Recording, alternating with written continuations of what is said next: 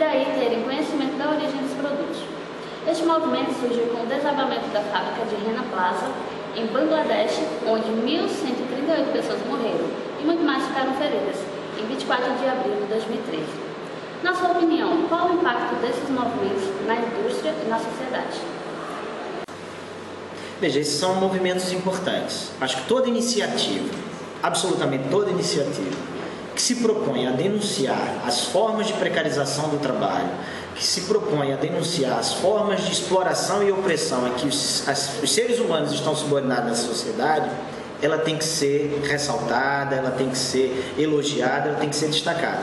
Agora, é preciso também é, reconhecer, a gente não pode esconder isso, que a própria indústria se apropria, cria mecanismos de se apropriar de, de movimentos dessa natureza. Né? Cria o selo de qualidade, cria o selo de empresa é, cidadã, da empresa que é a empresa que preserva o meio ambiente. Então, o próprio capital né? Isso é uma enorme capacidade de renovação que tem o modo de produção capitalismo, de se apropriar das reivindicações dos trabalhadores, das lutas dos trabalhadores e transformar isso em mercadorias, inclusive. Né? Basta, eu quero dar esse exemplo que eu acho que é, que é ilustrativo, basta você pegar os símbolos da Revolução Cubana que se transformam em mercadoria em várias lojas de departamento. As blusas que vendem uh, e vendem muito com a foto do Che Guevara, por exemplo. Né? Mas voltando à questão de movimentos que denunciam uh, né, a exploração do trabalho, e aquela é uma região, né, todos os países de capitalismo periférico, eles, para garantir a competitividade né, no, no, mundo capitalista, eles subordinam seus trabalhadores a situações de exploração e opressão, né? e a gente já tematizou isso, análogo ao trabalho escravo.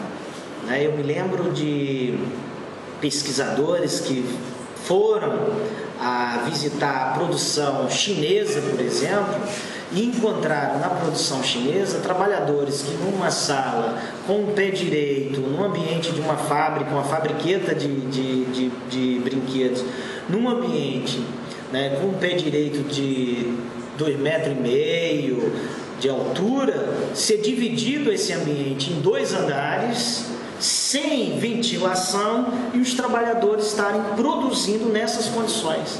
Muitos deles não só desenvolvem sérios problemas de saúde, como vêm a óbito por conta das condições de trabalho. Né? Ou situações como você tem empresas que ah, em todo ambiente de trabalho você tem que ter espaços para circulação, não só circulação do ar, mas em situações de risco você poder evacuar os trabalhadores. Né? E isso não, isso acaba resultando em desastres como uh, desastres de soterramento, de trabalhadores que são queimados, né? que sofrem lesões, mas que também vêm a óbito dadas essas condições. Então, insisto, cada movimento e as várias expressões encontradas na sociedade para denunciar a precarização das condições de trabalho, para denunciar estas formas de exploração e opressão, elas precisam ser destacadas, elas precisam ser elogiadas, mas elas têm também os seus limites, porque o próprio capital cria instrumentos de se apropriar disso. Mas isso não tira a importância dessas denúncias, desses mecanismos.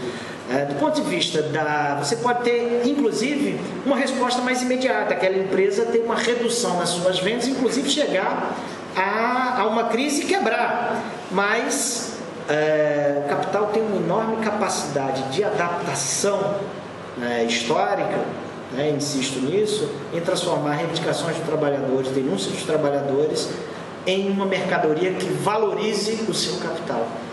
Mas uh, penso que iniciativas como essas são importantes.